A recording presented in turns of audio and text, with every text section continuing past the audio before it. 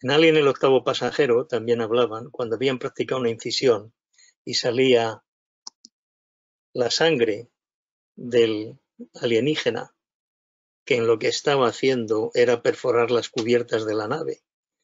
Uno le interroga al otro con una cara de admiración. Dice, ¿qué es lo que pasa? Dice, tiene una sangre con base eh, del silicio. Dice, ¿cómo? Pues sí, del silicio. Entonces alguno podrá pensar, las cenizas, pero ¿qué son las cenizas? Alguien coge una ceniza purulenta con los dedos y la mueve y no pasa nada. La diferencia de una volcánica es que si lo haces varias veces te llevarás la epidermis, porque es abrasiva.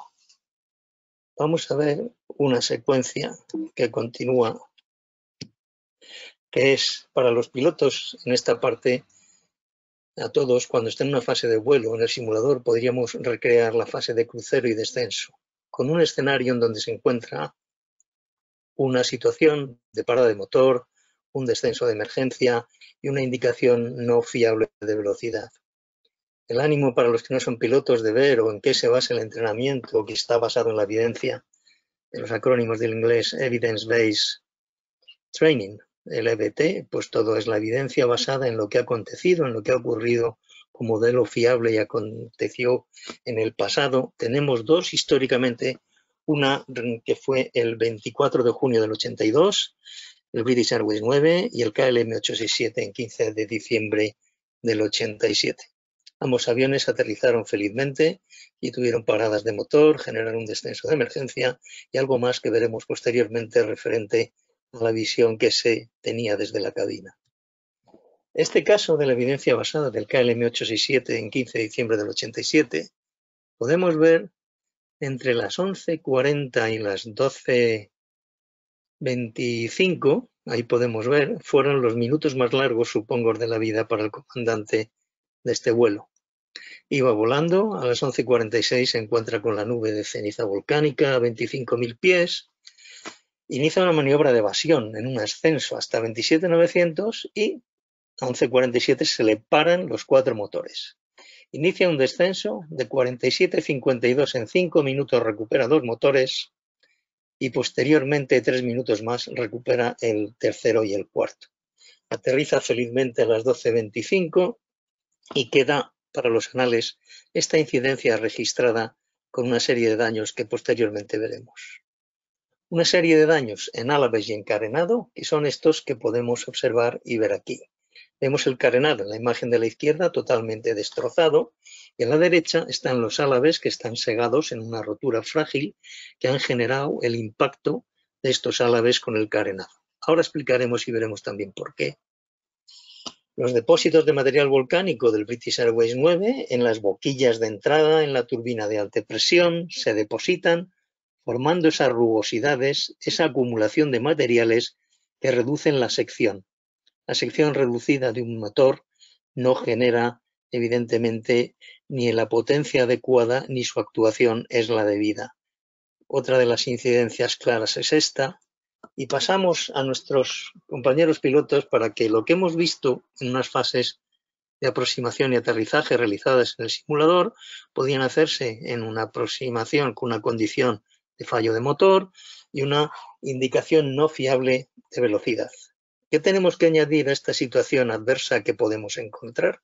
Estamos hablando de la ceniza como un elemento abrasivo. En escala de Mohs, la que utilizamos los geólogos para ver la dureza superior a 6, raya componentes metálicos de las estructuras del avión. Evidentemente, a las eh, cristales de cabina sufren una abrasión continua por el proceso de ese encuentro súbito con las cenizas. Entonces, esta abrasión causada por la ceniza va a dificultar la visión. Para que hagamos una simulación de los daños causados en el cristal de la cabina, hemos utilizado un papel con textura vítrea, un papel plástico de diferentes grosor para ver aquellos que tenían una mejor respuesta, con una pumita, una ceniza volcánica consolidada, como la que podéis ver la imagen inferior a la derecha, se procedió al rayado de estas, estas superficies. Esta misma lámina la cogí, la interpuse durante una aproximación a Quito para ver una versión reducida y tomar una fotografía. Imaginaros tratar de aterrizar a través del cristal, que no es que será translúcido, perdón, será translúcido, pero no presenta una visión clara como puede verse en la imagen de la izquierda. A la derecha al fondo tenemos el Cotopaxi, que parece que nos está esperando, y vemos que en corta final la situación sería en este tipo. Nosotros los pilotos vemos que si no tenemos un punto de referencia sobre el fondo de la pista, no podemos practicar de una forma adecuada la recogida del avión y posarlo en, tierra.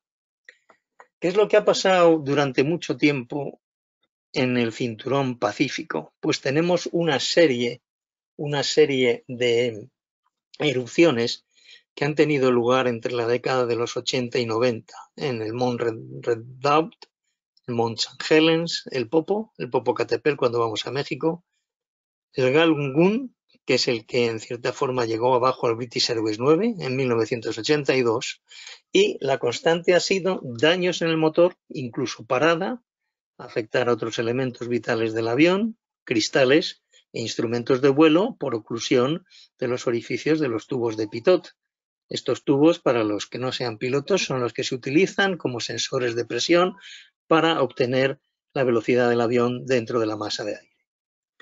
La incidencia y la frecuencia de encuentros que se tiene con las cenizas volcánicas, este es un trabajo de Casa de Val, si lo podéis ver aquí, unas están en cuadrados y otras en puntos negros. Los cuadrados presentan, en cierta forma, lo que tienen una mayor severidad y los otros puntos son los encuentros normales sin unos daños tan trágicos como hayan podido ser los anteriores. Si observamos este gráfico, parece ser que la actividad volcánica es periódica, con lo cual se repite cada 10 años. Fijaros, en el 50, en el 60, 70, 80, en el 90 se disparó hasta 15, sigue 2000, 2010 con el, y pronuncio en este caso, también nos dieron una clase en Islandia porque era bastante curioso la forma en que se reían de nosotros cuando tratábamos de pronunciarlo. Al final, un vulcanólogo islandés se puso delante de nosotros y dijo, ella, fiatla, yokul, y todos repitiendo, ella, fiatla, yokul.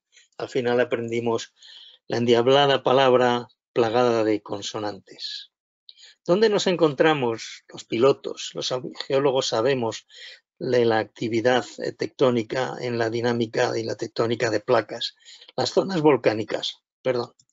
Si nos fijamos y observamos el cinturón pacífico, aquí lo vemos, las aleutianas en el norte, las rocosas, la península de Kamchatka, bajamos hasta Japón, la placa australiana tenemos aquí donde está el Bulangún, que es el caso del arco de Indonesia, y tenemos también la placa de Nazca, que subduce debajo de la placa americana. También tenemos algunos volcanes de los que están todos marcados en rojo en el cruce del Atlántico entre lo que es Europa, abandonando por la península hasta que llegamos a Sudamérica. Para los pilotos, hacerles ver de dónde sale, tenemos una zona de divergencia, marcado con la D, en Islandia, Azores, islas sobre las que sobrevolamos. Tenemos una zona intraplaca, de vulcanismo intraplaca que se da o tiene lugar en el archipiélago canario, de Cabo Verde, Madeira, zona de convergencia de placas. Aquí veis la placa oceánica que subduce con la flecha en negro por debajo de la placa americana. Genera el relieve de los Andes. Y aquí tenemos también esta actividad. El arco de Japón lo vemos a la izquierda. El mayor productor en emisión de masa procedente del magma en esta actividad volcánica son las dorsales oceánicas. Aquí podemos ver la cantidad, el caudal que pone en kilómetros cúbicos año 18,3 y el siguiente le sigue la zona de subducción.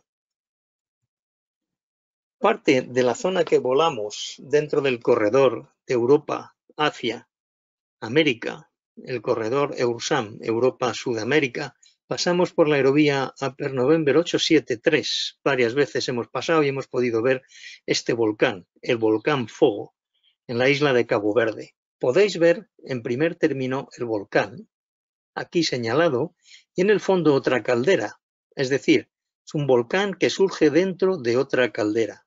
Podemos ver varias emisiones de lava, aquí tienes el que sigue por aquí hacia allá, en esta marca negro más oscura, y también algunos conos adventicios adosados a la ladera del volcán. Este volcán acumula agua entre la caldera primigenia y el volcán actual. Este agua que aquí permanece percola hacia abajo y se pone en contacto con el magma, lo que favorece las erupciones freato-magmáticas. Vamos a ver qué tenemos de esta actividad volcánica y vamos a ver cómo afecta o interpretamos de geólogos a pilotos. De geólogos a pilotos nos une la atmósfera. Los geólogos estamos por el suelo, los pilotos van por el aire. Pues bueno, desde el manto, la astenosfera, la litosfera, de abajo para arriba salimos con la troposfera, la tropopausa y la estratosfera. Tenemos unos materiales que son, según el quimismo, más densos, menos densos, más viscosos o menos viscosos. Se produce un proceso de exsolución, la formación de burbujas. Los volátiles se disuelven, se expanden. Hay un sistema de dos fases en la expansión de los gases y aumenta la fragmentación en esta parte de la chimenea volcánica. Lo que se produce es una cizalla de la cantidad de magma que está saliendo. Como os he dicho, en función de bien sea un magma basáltico, sea un magma de otra naturaleza, desítico, toleítico o cualquier otro, tiene también una viscosidad diferente. La viscosidad, si es grande, lo que hace es ocluir la salida con lo cual es factible de generar por acumulación de, explosión, de, presión explosiones considerables. En esa explosión sale por el empuje de gas la masa hacia arriba, genera la tefra, que luego es parábola que ya definió Aristóteles como ceniza, que es la materia que luego cae posteriormente. Hay ceniza, hay la pili, hay también bombas menores de 2 milímetros, entre 2 y 64 la pili, mayor de 64 las bombas. De toda esta masa ascendente hay una parte que cae y otra que llega incluso hasta la estratosfera. Entonces, la densidad, si observamos en este gráfico de la izquierda, es más denso, en sólido en negro, va disminuyendo según se expande y adquiere un nivel de flotabilidad neutro. Cuando ambas densidades son iguales, principio de Pascal, contraste de densidades, no se va para abajo. A merced de los vientos que aumentan en altura, como podemos ver en esta gráfica de la izquierda, la región del paraguas, la región de esta nube, se expande a lo largo de kilómetros y kilómetros. Otra cosa considerable que tendríamos que ver, la velocidad de eyección. Llega a velocidades sónicas de más de 500 metros por segundo, presiones confinantes de 300 bares. Esto ha sido un cálculo realizado por Wilson y colaboradores en 1980 sobre una ecuación modificada de, Bernoulli. Daros cuenta que si tenemos tal presión y tal velocidad, puede alcanzar cotas de elevaciones que se encuentran dentro de la eh, eh, estratosfera. Cuando vamos a ver también ¿Qué es lo que tenemos? En este caso es el volcán Pacaya, en Guatemala. Una vez que subimos en una línea que tuvimos allí, vimos la surgencia por un adventicio. Tiene una temperatura de fusión, aquí fluye, cuando se enfría se hace más viscoso, veis que tiene una costra en la parte superior, fluye por debajo porque conserva la temperatura. La temperatura le ayuda a fluir. Pues hay algunos autores que dan de 700 hasta 1200, depende de la composición química de la lava que es emitida. La erupción en Islandia del volcán Greenswood. Aquí tenemos una imagen de la Agencia Espacial Europea y podemos ver cómo en este entorno tiene una proyección del material que llega a estar cuantificada y alcanza hasta los 160.000 pies.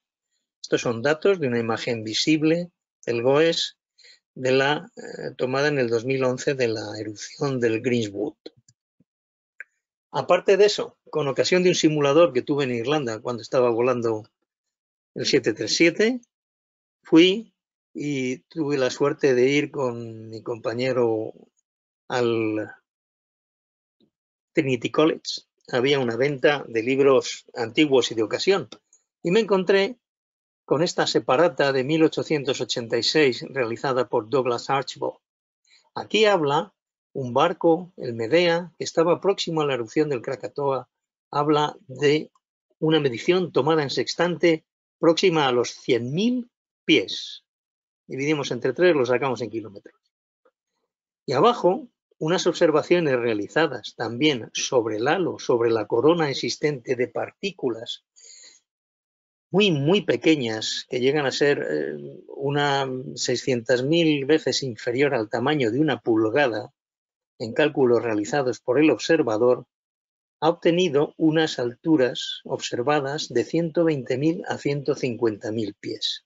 Luego tenemos que considerar que el evento es de tal magnitud que afecta a todo el tráfico aéreo.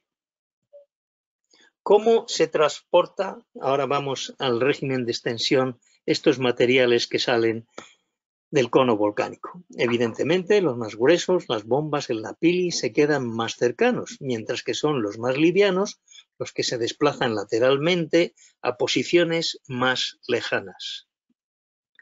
Tenemos otro caso, obtemado animado.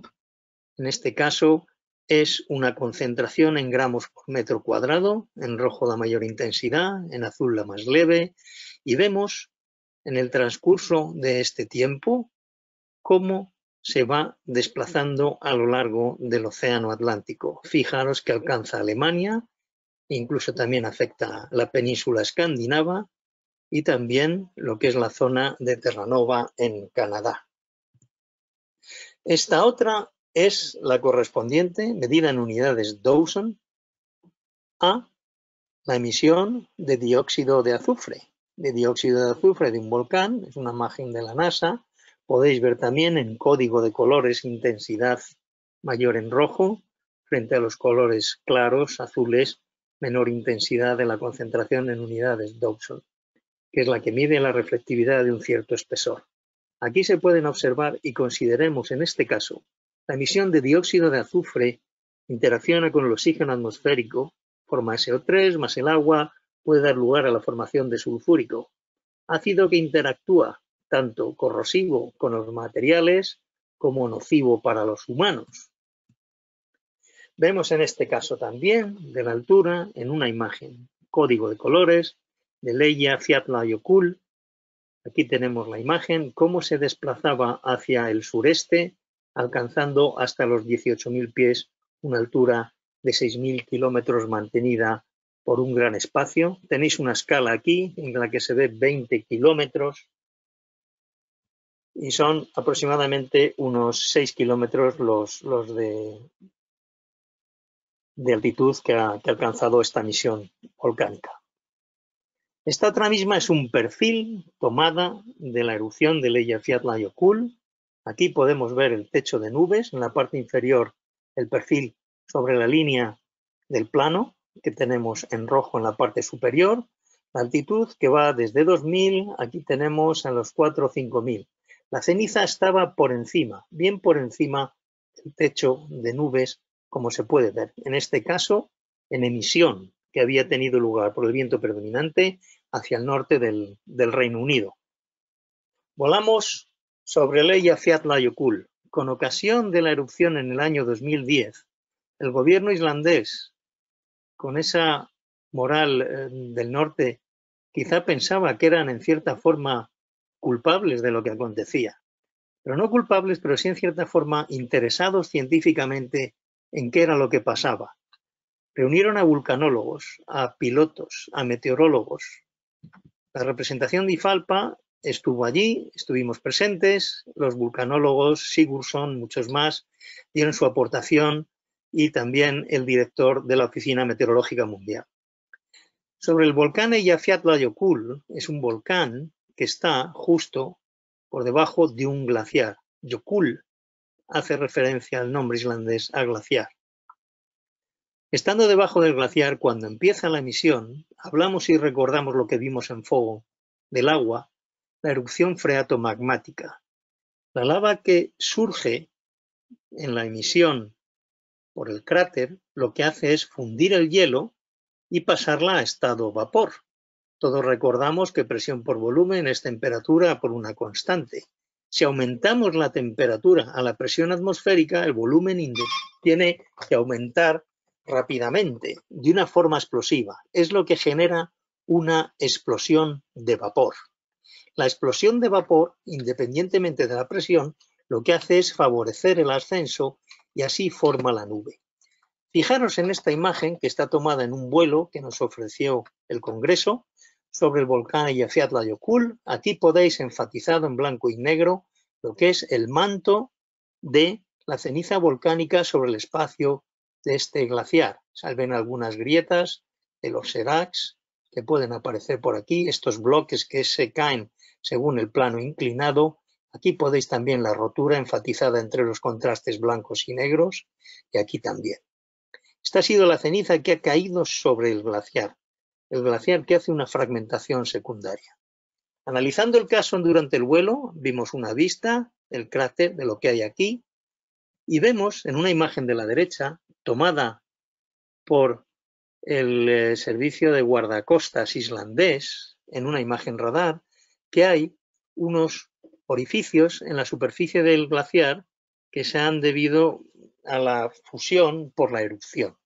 Es decir, forma el caudron, la caldera, la caldera que tiene aquí donde se está, en cierta forma, generando por fragmentación secundaria debido al vapor de agua que se genera por la fusión del hielo, un entorno favorable a la creación de cenizas volcánicas.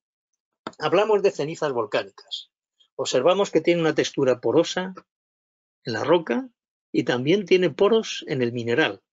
Una imagen con 50 céntimos de referencia, aquí la podéis ver, casi tan grande como de la izquierda, es esta que observamos aquí. Veis la cantidad de vacuolas, de poros que existen en la muestra de roca. Este es en un parque nacional, el de Timanfaya, en una visita, una de las paredes con la que construyen los canarios parte de las edificaciones. Un material liviano, un material frágil y un material que se puede tallar fácilmente. La gente también, cuando hemos ido a México, hemos visto que parte de las grandes pirámides, ellos que no utilizaban el metal, podían cortar a lo mejor con la obsidiana algún mineral que fuera más duro, el vidrio volcánico, a estas rocas que, que estamos viendo aquí. Hablamos de las rocas con estas vacuolas inmensas y también podemos observar lo que Sigurdsson había visto en este cristal de clinopiroxeno. Aquí vais a ver unas superficies vacuolares que están, en cierta forma, ocupando el espacio de, de este mineral. Está generado por el proceso de la fragmentación secundaria de cuando sale el magma e interacciona con el agua que ha sido generada por la fusión del hielo. La morfología de una ceniza volcánica vista al microscopio.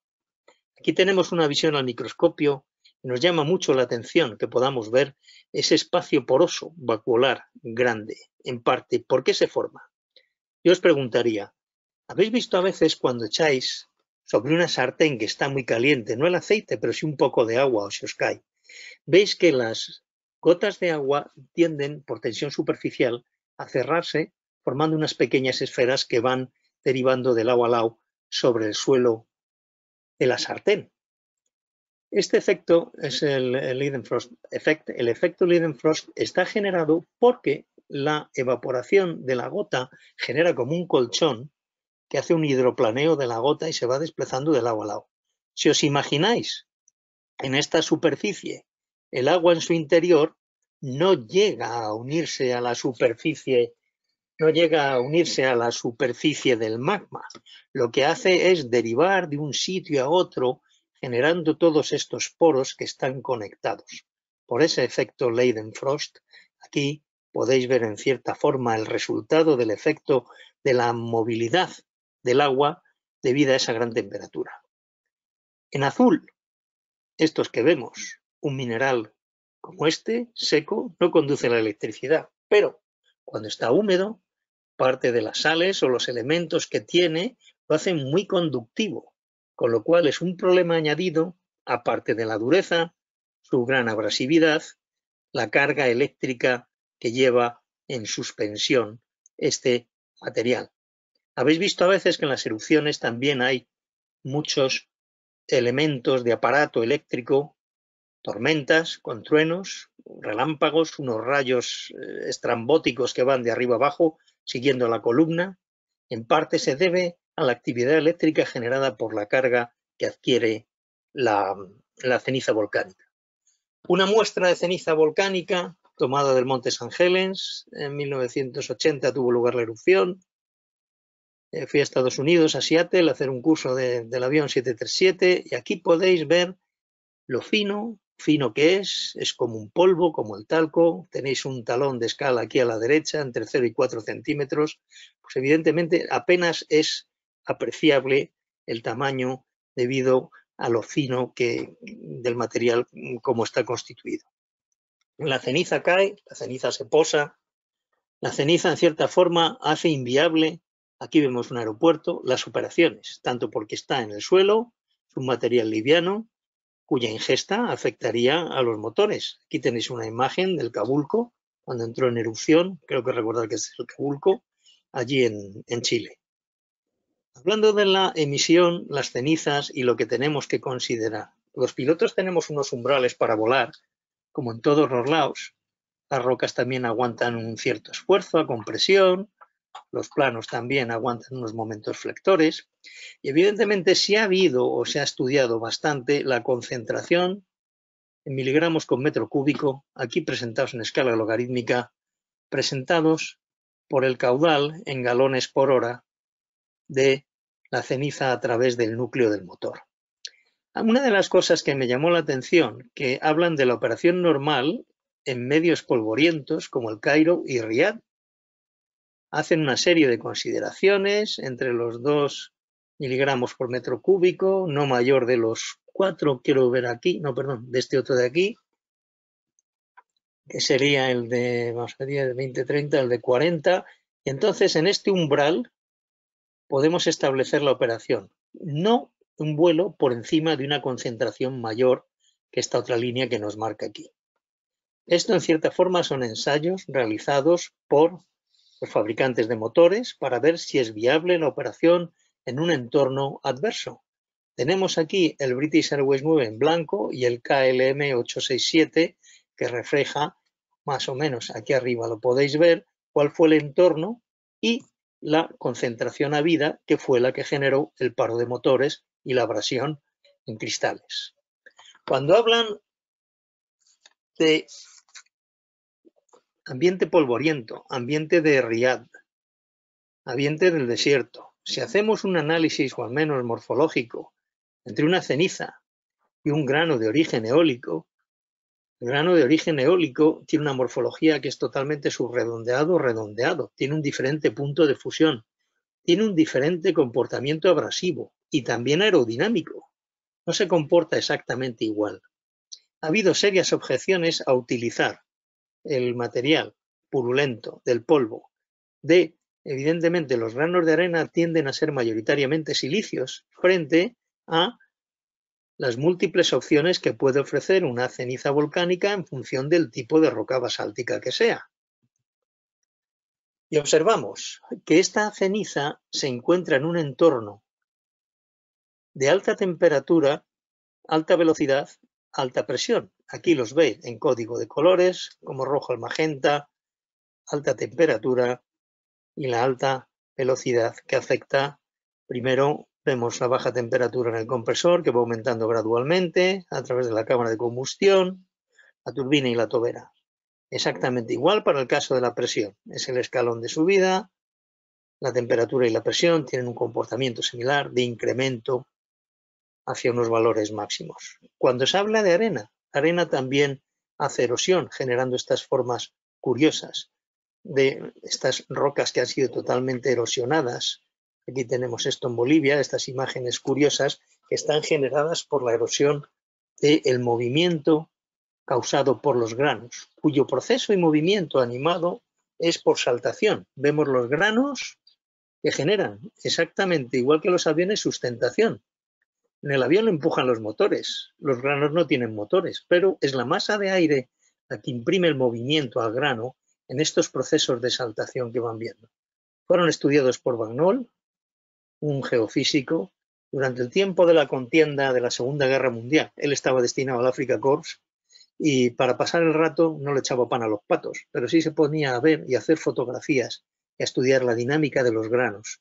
Este gran eh, geólogo fue uno de los más eh, clarividentes en la exposición de la dinámica de la arena y del movimiento en el ambiente de los desiertos. Lo que os he dicho del comportamiento según el impacto vemos uno y otro y podemos ver que en el caso de un grano lo que genera es esto y lo que hace es una marca de impacto. Por el contrario, este otro, que es la ceniza, no sé si os parece que es como las mazas del medievo, de los duelos entre caballeros. Cuando una bola, una esfera, tiene unas puntas, la presión en fuerza por unidad de superficie, la fuerza que ejerce es mucho mayor si la superficie es menor, con lo cual la presión era la que causaba la rotura de cascos, de yelmos, de corazas. ¿Qué le va a pasar al álave? Evidentemente va a generar una serie de estrías causadas por ese impacto fortísimo. Más transmisión de presión cuando son las aristas o superficies mínimas las que inciden a gran velocidad. Recordemos que los minerales constituyentes son en dureza superiores a las aleaciones que constituyen algunos álabes. En el comportamiento del motor podemos observarlo en esta imagen animada, un compresor, una cámara de combustión y una turbina. Imágenes del compresor, cámara de combustión y la turbina. Un proceso geológico que podríamos ver, como todos los geólogos nos centramos en el ciclo, erosión, sí, se erosiona, ¿Pero qué se erosiona? No se erosiona la ceniza, erosiona los álabes, los álabes del compresor, el de baja presión al de alta presión, en este entorno aquí señalado. ¿Qué le ocurre cuando entra en la cámara de combustión? La temperatura de llama y el proceso de ignición en la cámara de combustión, el quemar el combustible tiene un máximo térmico, cuyo máximo es superior a la temperatura de fusión. Hemos pasado un material en estado sólido que golpea y erosiona a un material en estado fundente, semifundente, que genera una fusión parcial en la cámara de combustión. Este material fundido choca contra los álabes de la turbina y da lugar a la formación de vidrios volcánicos o precipitación de otros minerales en este entorno de los álabes de la turbina. Una imagen buena en la que refleja un proceso geológico inducido sobre un motor por un material que es la ceniza volcánica. Como os hablaba de los valores de temperatura y presión, alcanzamos aquí de la presión en azul un máximo después del compresor y vemos que luego va cayendo, si disminuye la presión, aumenta evidentemente la velocidad. Aquí la veis en verde la velocidad axial del compresor y luego evidentemente aumenta por el principio de reacción, masa por velocidad. La velocidad es la que le transfiere este momento sobre la masa de aire al motor, al avión para el empuje. ¿Qué pasa con la temperatura? ¿Qué es lo que nos importa aquí? Bueno, pues vemos que la temperatura por compresión aumenta, P por V en RT, si aumenta la presión aumenta la temperatura y llega a un máximo de temperatura estabilizado en toda la cámara de combustión estado leyendo y buscando por ahí que alguna temperatura de llama alcanza hasta los 2000 grados. 2000 grados está muy por encima de la temperatura de fusión del cuarzo, con lo cual está garantizada la fusión y el proceso de impacto en los álabes va a generar el que esa masa tenga un resultado francamente malo para nosotros. La acción purulenta de estos granos como polvo fino ocluye los tubos de alimentación, orificios secundarios de respiración, tubos de vaporización, tubos de llama, orificios de dilución, una oclusión de tubos de orificios que son los que utiliza el sistema para la combustión, con lo cual puede generar por oclusión un apagado de llama, como cuando cierras el tiro de una chimenea, para los que no sean pilotos. Evidentemente, si no hay tiro, no hay alimentación, no hay movimiento de fluidos, se puede ocasionar el que se ahogue o el que se apague el tiro, el que se apague la, cámara de combustión. Este aspecto erosivo lo podemos ver en el borde de ataque de los álabes, aquí, francamente marcado, cómo ha destrozado totalmente el perfil aerodinámico. Aquí vemos los orificios de ventilación, en este lado, y en la parte de arriba el extra 2, cómo ha perdido su curvatura inicial. La parte inferior, aquí la podéis ver, están también los orificios de ventilación para tener una eficiencia. Los álabes trabajan a una gran temperatura y un sistema de refrigeración para los no pilotos les hace que sean más eficientes.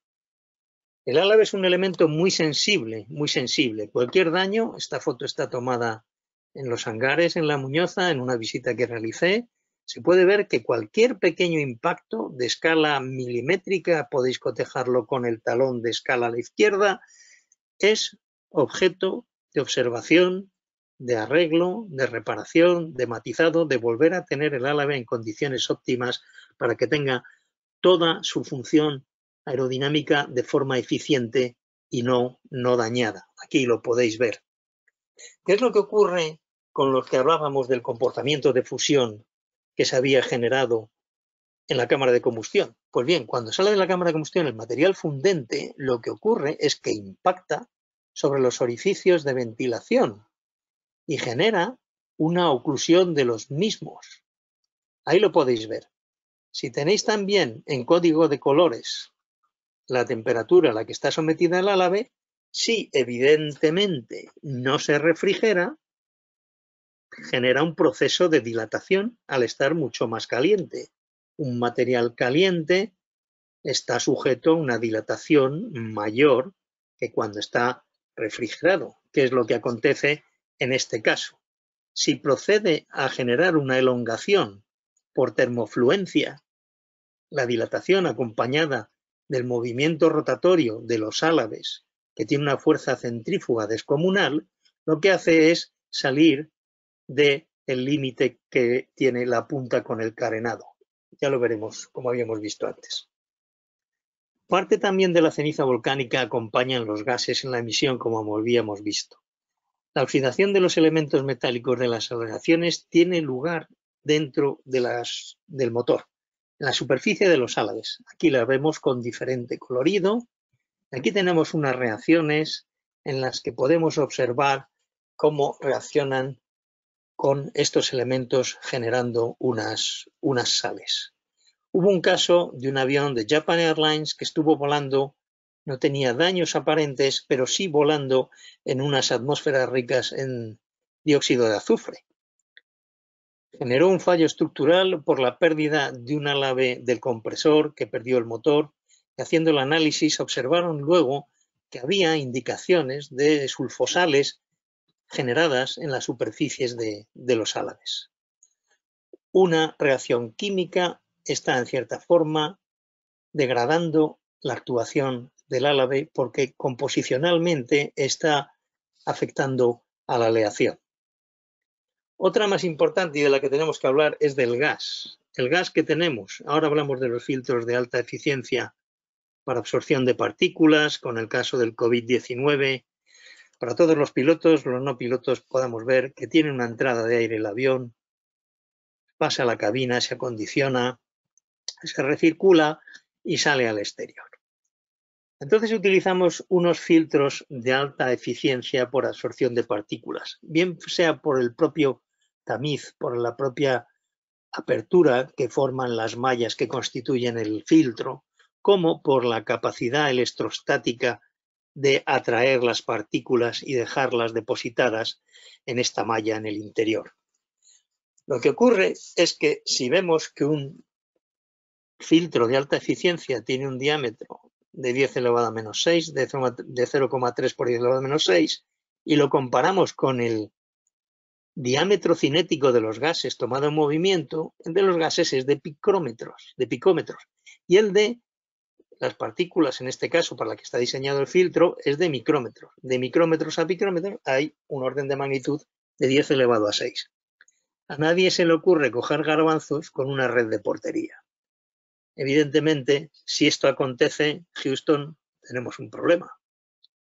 Un problema porque el gas, también de afectar a lo que es el motor, afecta también a los pasajeros, afecta también a la tripulación. ¿Y en qué manera? Hablando con la doctora Matilde Ceballos, del Departamento de Toxicología de la Complutense, los pilotos hemos visto, hemos estudiado, todos en medicina aeronáutica, acerca de la hipoxia. La hipoxia, hipoxia histotóxica, hay hipoxia hipóxica, pero bueno, el caso es que tenemos la hemoglobina. Tenemos un gas, SH2 sulfídrico, tenemos CO2, CO. Aquí vemos el cambio del oxígeno que tiene lugar eh, a través de la membrana basal alveolar. Están los neumocitos, los líquidos tapizados y similares. ¿Qué ocurre? Que la carboxihemoglobina tiene 210 veces más afinidad por el, por el CO que, que por el oxígeno en este caso. Y genera entonces una hipoxia histotóxica. Este elemento gaseoso, este elemento gaseoso nos va a causar un envenenamiento que no hace factible el transporte de oxígeno a través de nuestro organismo. Por otro lado, si tenemos otro caso de ácidos que se han generado, como habíamos visto, por interacción de un gas con la atmósfera, con su oxígeno, con su agua, puede generar un ácido que tenga en cierta forma, eh, una afinidad por el agua. Teniendo afinidad por el agua, lo que genera es una barrera, como aquí podemos ver. La barrera lo que hace también entonces es impedir el paso o el intercambio de oxígeno con el dióxido de carbono que se está liberando, generando una hipoxia hipóxica. Caso que tenemos en este, un problema que habría que resolver. Cuando estamos volando, pues sí, los pilotos, todos, aquí para los que no son, vemos un panel de aire acondicionado. Pues sí, ponemos, eh, pues vamos a ver, ¿qué hace frío? La cabina subimos, cold o hot, calentito frío.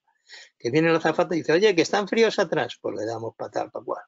Aquí, por si tenemos que cruzar de uno a otro, para que lo sepan, y nuestras luces indicadoras. Y aumentar el caudal, el caudal para estar.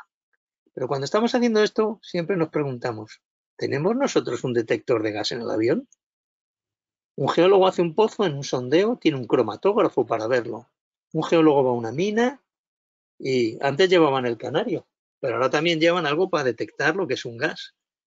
Tenemos, en cierta forma, que implementar alguna medida que sea eficiente para aumentar la seguridad en los vuelos, para el pasaje, para la tripulación y así para lo que es la dinámica del vuelo. En este esquema general que podemos ver, el aire acondicionado entra el aire de fuera, se mete a presión, se pasa por un sistema, para los que no son pilotos, de forma que se le adecua con la presión que se genera un aire muy caliente a una temperatura asumible que pasa a la cabina. Bueno, aquí tenemos un esquema que viene el aire de fuera y entra al de dentro. Adecuado en condición de temperatura para hacerlo respirable y francamente en un entorno agradable. ¿Qué pasa si pusiésemos unas sondas a la entrada y a la salida de los packs, es decir, de aquellos elementos acondicionadores de nuestro aire, desde fuera adentro. Podríamos poner aquí, aquí, y entonces, a través de un cromatógrafo, un detector de gas, con un umbral, nos daría una alarma, supera un umbral, o bien una emergencia, en este caso, que podría ser ¿Puede ser una solución? Habría que implementarlo. De hecho, hoy en día los aviones no lo tienen, pero si bien sería factible el implementar que tanto los geólogos nos pueden indicar cuáles son los gases que salen a la atmósfera, los geoquímicos que estén en las proximidades de los volcanes, qué es lo que hay. Y entonces con ello elaborar una carta de conocimiento de qué situación vamos a volar, porque a lo mejor, claro, la imagen satélite no detecta la ceniza, pero Perdón, sí detecta la ceniza, pero lo que no detecta es el gas. ¿Por qué a veces estamos volando y encontramos la ceniza? En este caso aquí la vemos y se genera un ashtam, una notificación de ceniza para los aviadores. ¿Por qué no cuando tenemos gas no generamos un gastam? Una notificación del gas para los aeronautas, para la gente que vuela, porque evidentemente puede ser también muy valioso el conocimiento y una situación que podía ser potencialmente peligrosa o generar una situación anormal.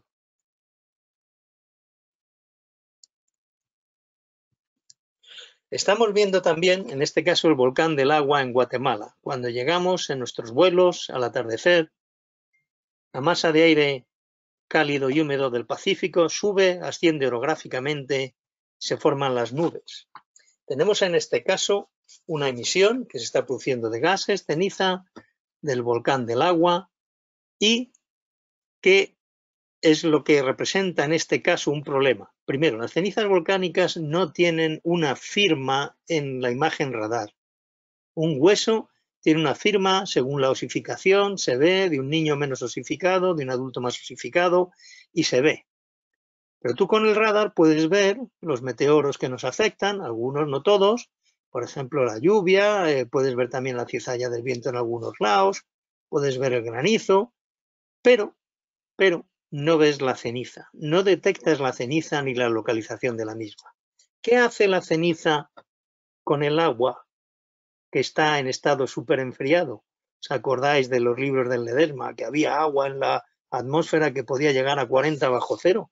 Son gotas súper enfriadas. Una gota pasa a cristal si tiene un centro de nucleación. Una solución pasa a cristal si tiene un punto sobre el que se ancla, sobre el que desarrolla su estructura. Si está en un estado puro puro, sigue como tal, como la gota superenfriada. Pues aquí las partículas de ceniza actúan como núcleos de condensación. ¿Para qué? Para la formación, si está a 50 bajo cero, de cristales de nieve, o si tiene una temperatura inferior, eh, generan la condensación las gotas de agua. Vas con tu radar a ver las gotas de agua y resulta que cada gota de agua tiene una partícula de ceniza dentro. Eso es lo que puede pasar y acontecer. Quiero deciros que también la geología está en el aire. Quiero daros las gracias por vuestra atención a todos, al Colegio de Pilotos y al Colegio de Geólogos por este acto conjunto. A los pilotos y a los geólogos desearles mm, pues paz, sosiego, fuerza y esperanza, que de aquí se sale. Y nada, muchas gracias por vuestra atención y queda a vuestra disposición, también agradeciendo la colaboración que podamos realizar para que ambas profesiones encuentren un marco común de encuentro. Muchas gracias a todos. Buenas tardes.